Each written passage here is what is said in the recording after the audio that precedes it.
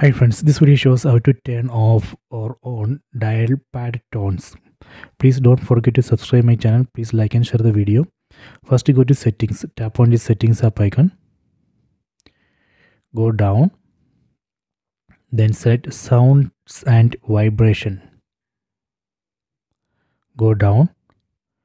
So here we can see dial pad tones.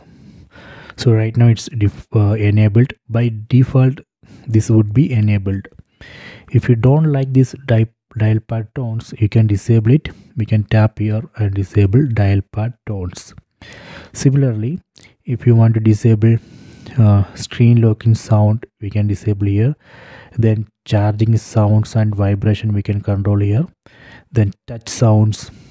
Then screen capture tone touch vibration. So all these Uh, sounds we can control here. So please check it